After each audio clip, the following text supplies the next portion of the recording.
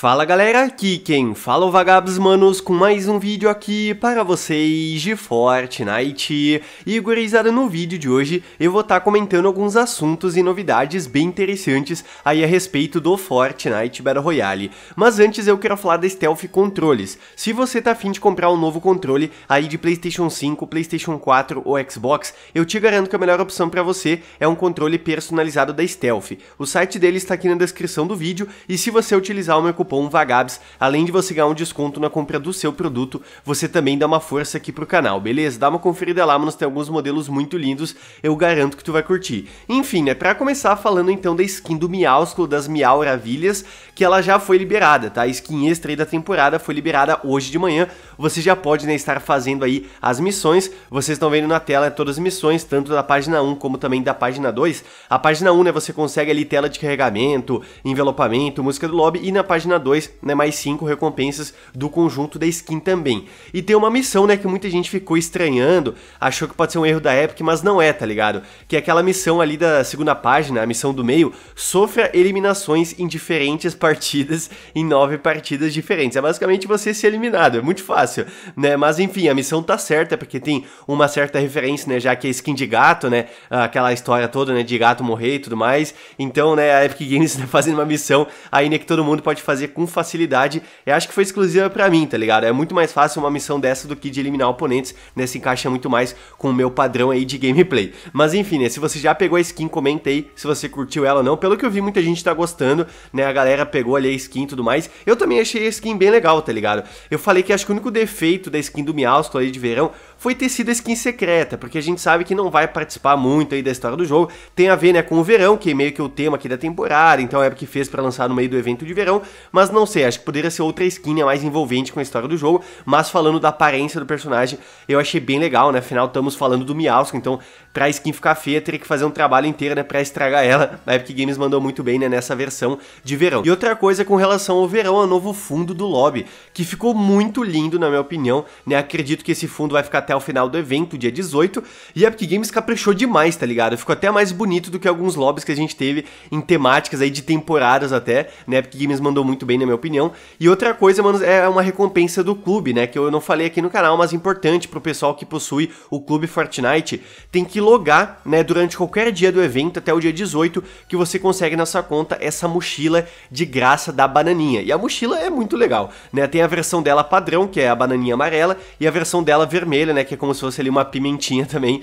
Então, né, Epic Games fazendo, uh, trazendo, né, no caso, essa recompensa pro pessoal do clube, mas você tem que logar para pegar a recompensa, tá? Se você é só assinante do clube, mas não logar no evento de verão, você não consegue ela, então tá aí o aviso. E eu quero discutir agora um assunto polêmico, que é sobre a comunidade ser preconceituosa, racista principalmente. Eu já comentei sobre esse assunto recentemente aqui no canal, inclusive, porque a Epic Games tinha removido alguns itens, né, com temática de macaco, de banana, porque o pessoal usava de forma pejorativa. A galera ia lá, eliminava algum pro player, algum conhecido, ou qualquer eliminação aleatória e mandava, né, o emoji do macaquinho, a dança do macaco, spray de banana. A gente sabe, né, que infelizmente o pessoal tem essa mentalidade. Alguns pro players, inclusive, já tinham avisado um tempo atrás, né, pra Epic que estava acontecendo, e os itens foram removidos de torneios dentro do jogo. Mas o que acontece? Agora tá rolando um campeonato bem famoso, chamado Gamers 8, que é um campeonato, né, que tem classificatória, tem convidados e tudo mais, e não acontece, tipo, dentro do jogo em si, tá ligado? Ou seja, as partidas desse campeonato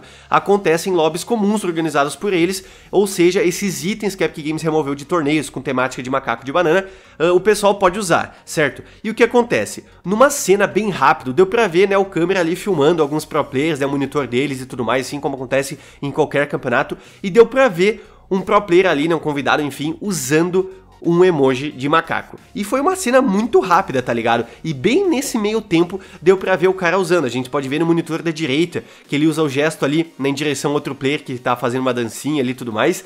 E tipo, a galera fala, ah, o cara não pode nem mais usar uh, o gesto agora ali, né? Tipo emoji e tudo mais. Só que, manos, a gente sabe por que, que ele usou. Enfim, dá pra ver, a gente sabe que, que o pessoal se comporta dessa forma.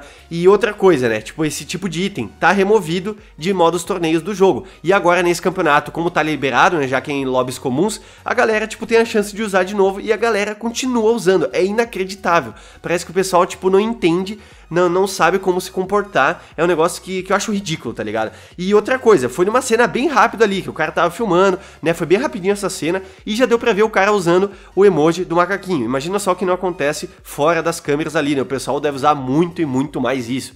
Enfim, né? Só compartilhando com vocês é mais um caso. A Epic Games tem ciência disso. Eu acho que eles nunca mais vão trazer itens com essa temática, infelizmente. Assim, né, do pessoal poder fazer para outros players, tá ligado? Eu acho que, tipo, skin de macaco, assim, a ver com o bananão também, vai chegar. Mas eu acho que itens, assim, que a gente faz pros adversários, como gesto, como também ali uh, figurinha, spray, eu acho que talvez não cheguem mais no jogo com essa temática de macaco, de banana, porque a Epic já entendeu que a comunidade não tem mentalidade de pessoas normais, né? A galera simplesmente quer, quer ficar sendo racista aí a qualquer momento. Enfim, enfim, né, infelizmente, só queria mostrar pra vocês, é mais um caso aí Uh, que aconteceu na comunidade né, agora num campeonato bem sério. Pode comentar o que você achou disso aí também. E uma coisa que muita gente está discutindo aí também é sobre o evento de verão a boa parte da galera né, tá achando que esse evento foi muito, muito fraco, né? Inclusive, muita gente falando que é o pior evento de verão até hoje do jogo.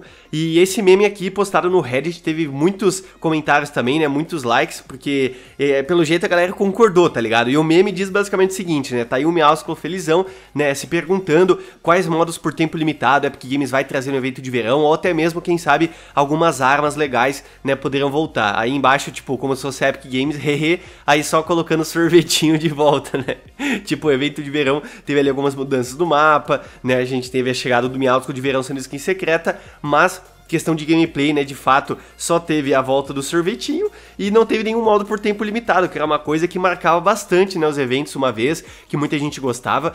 E tipo, o modo criativo 2.0, o criativo no geral, acho que mudou bastante essa questão dos eventos do jogo. Porque a Games uma vez, né, realmente como não tinha modo criativo, não tinha tantos mapas diferentes pro pessoal jogar, a Epic sempre trazia, né, um mapa ali por tempo limitado, né, um modo por tempo limitado durante um evento ali sazonal. E tipo, ultimamente isso não vem acontecendo mais. Eu não acho que tipo, no próximo evento de verão, no próximo evento de Natal, Halloween, seja o que for, vai ter modos por tempo limitado chegando assim com frequência, né? A gente tem um modo lá de, de Halloween que é bem conhecido, do Rei da Tempestade, que a galera gosta também. Mas, tipo, num modo geral, eu acho que os eventos mudaram bastante por conta aí do modo criativo, questão de mapas. E, tipo, os itens realmente a Epic Games não tá trazendo de volta, assim, ultimamente. O evento de Natal, a Epic sempre também traz os mesmos itens de volta ali, com temática natalina, nada assim muito diferente. Então, pra mim, não, eu não me surpreendi, né, com essa falta de criatividade, vou dizer assim, nesse sentido pela Epic, porque os últimos eventos já foram mais ou menos nesse sentido sentido. Mas enfim, né, comentei também o que, que você achou do evento de verão desse ano. Se foi fraco, né? Tudo questão de aí de modo por tempo limitado não teve, mudança em gameplay, mudança no mapa, se você achou ruim, itens de graça, enfim, né? Pode comentar a sua opinião no geral. Mas então é isso, galera. Espero que vocês tenham gostado aqui do vídeo. Se você gostou, deixa o likezão aí porque não custa nada e me ajuda muito. E claro, né, mande aí pros seus amigos para todo mundo ficar ligado em mais assuntos e novidades interessantes do game. Então é isso, manos. Aquele abraço, se vemos no próximo vídeo. Valeu, falou! falou-se eu fui.